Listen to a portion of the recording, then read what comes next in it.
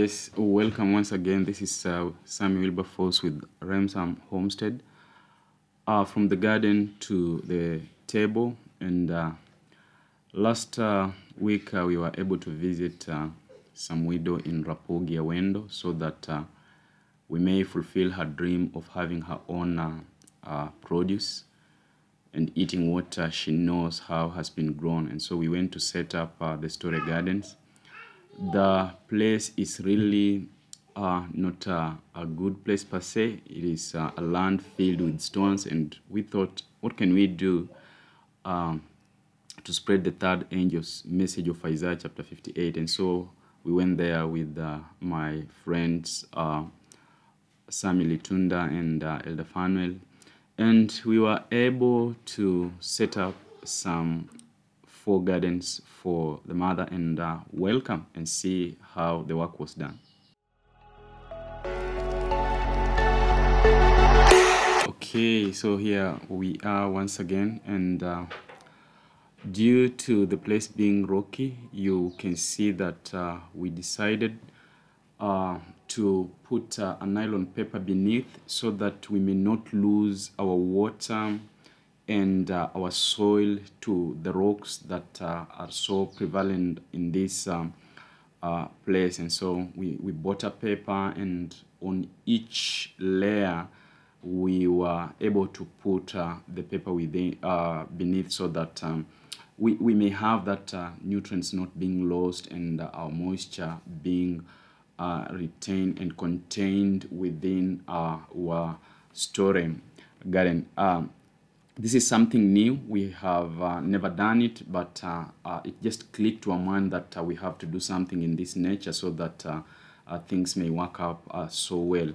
Also, we can't complain much because of the place because the rocks themselves were able to substitute for the places that we needed soil much and so you can see us doing our first layer and arranging the rocks uh, within the the storage garden to hold firmly the the the, the, the HDP trash uh, trash sheet paper. And not only that um, uh, we were able to collect uh, uh, a lot of stones. There are some little stones so that um, because there's not enough soil here and we had bought some soil it may help supplement where we had the scarcity. And so the rocks are put um, uh, just to hold the paper and also in the middle of uh, the storage gardens where we put soil we put some rocks you can see that so that uh, we may be able to not be burdened by um, having to buy more and more soil. And so you can see uh, our storage garden is coming up uh, and the work is going on. But uh, allow me to, to share one thing. This was one of uh, the most uh, hardest place to work on.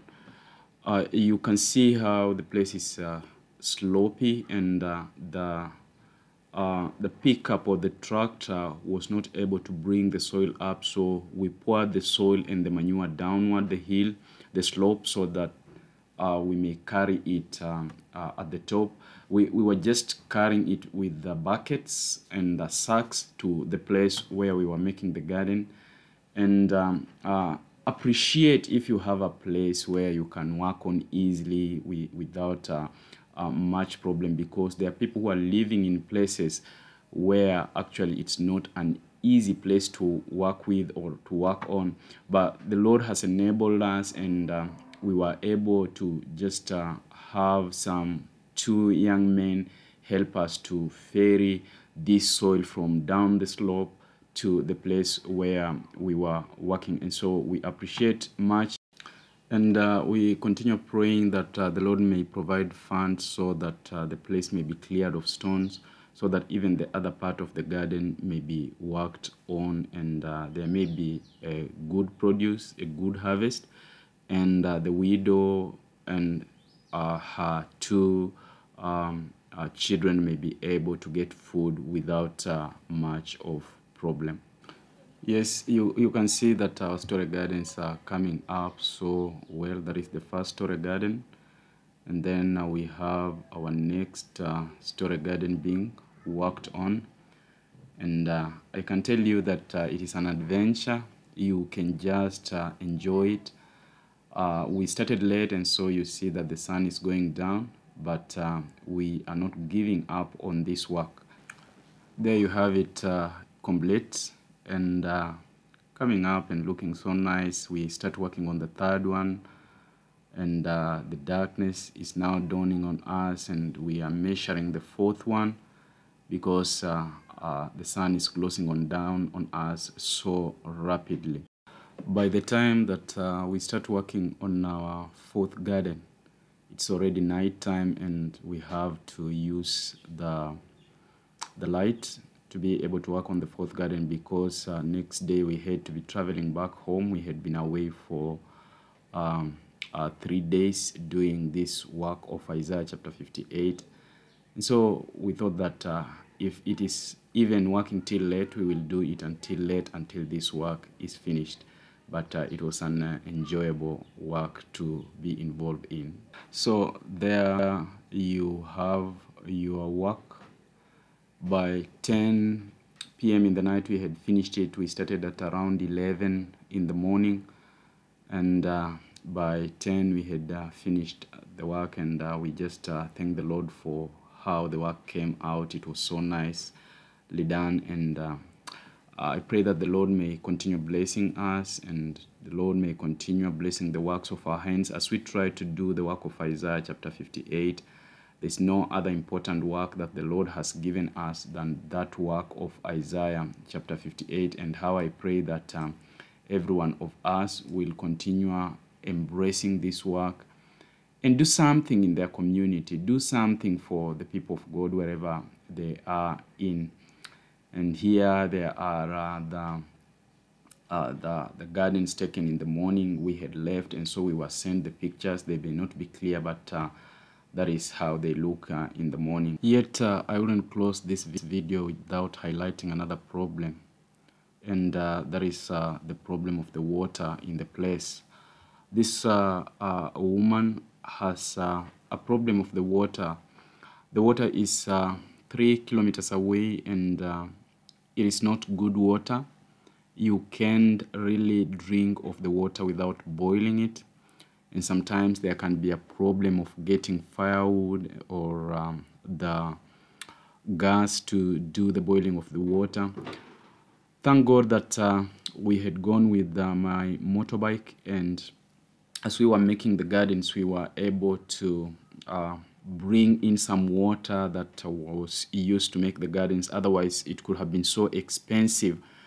We used to go uh, three kilometers away to get the water. That is the water that they use in their home uh, for normal household work. Also, some people boil it and uh, drink of it, but uh, there is another place they can get the water for drinking. It is uh, in somebody's homestead, not also near our plea is this that um, if you are touched with the Lord, if you see it necessary that you may help in the work of Isaiah chapter 58, please, we want to buy a water tank for this um, mama so that um, she may harvest the rainwater and uh, use it during uh, the dry season.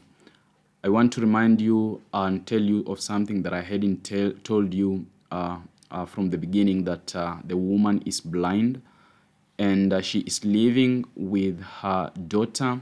There is uh, a young girl of around six to seven years who cannot do a lot. The mama is blind, and also the young uh, girl, Velma, has a problem with her eyes.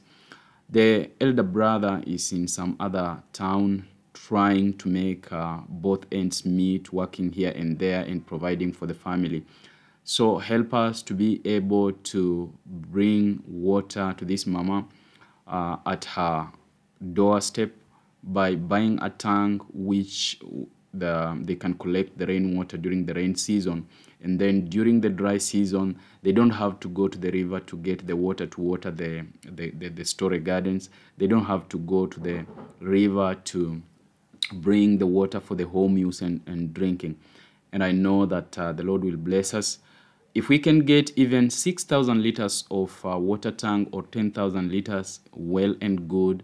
And we are projecting this to take us around um, uh, 70,000 Kenyan shillings, that is uh, around 700 US dollars, to be able to bring the tank and do the the uh, the the piping so that um, the water may be harvested the the putting up of um, the water collector so that the water may be collected into the tank.